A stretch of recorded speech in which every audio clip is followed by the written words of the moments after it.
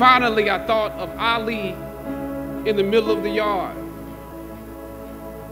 In his elder years, drawing from his victories and his losses. At that moment, I realized something new about this, the greatness of Ali and how he carried his crown. I realized that he was transferring something to me on that day. He was transferring the spirit of the fighter in me. He was, he was transferring the spirit of the fighter to me. He was transferring the spirit of the fighter to me. Sometimes you need to feel the pain and sting of defeat to activate the real passion and purpose that God predestined inside of you. God says in Jeremiah, I know the plans I have for you plans to prosper you and not to harm you, plans to give you hope and a future. Graduating class, hear me well on this day. When you at this day, when you have reached the hilltop and you are deciding on, on next jobs, next steps, careers, further education, you would rather find purpose than a job or a career. Purpose crosses disciplines.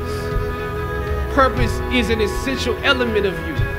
It is the reason you are on the planet at this particular time in history. Your very existence is wrapped up in the things you are here to fulfill.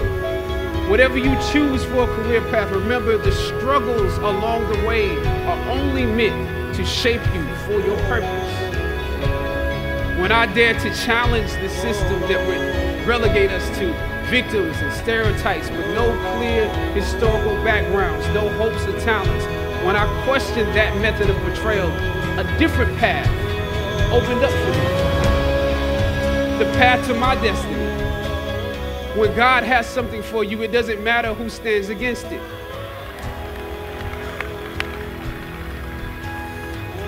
God will move someone that's holding you back away from a door and put someone there who will open it for you.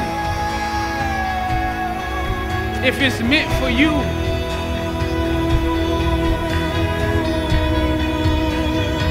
I don't know what your future is. But if you're willing to take the harder way, the more complicated one, the one with more failures at first than successes, the one that has ultimately proven to have more meaning, more victory, more glory, then you will not regret it. Now, this is your time.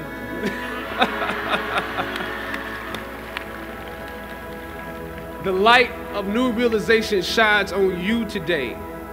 Howard's legacy is not wrapped up in the money that you will make, but the challenges that you choose to confront. As you commit to your past, press on with pride and press on with purpose. God bless you. I love you, Howard. Howard forever.